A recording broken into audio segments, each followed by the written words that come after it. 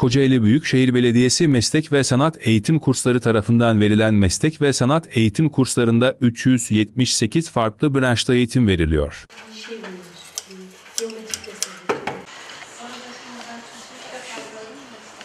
Birbirinden önemli kurslarda eğitim vererek vatandaşların eğitim ve kişisel gelişim ihtiyaçlarını ücretsiz bir şekilde karşılayan KOMEK, ders modüllerine yeni modüller eklemeye devam ediyor. Dikkat edin yani bir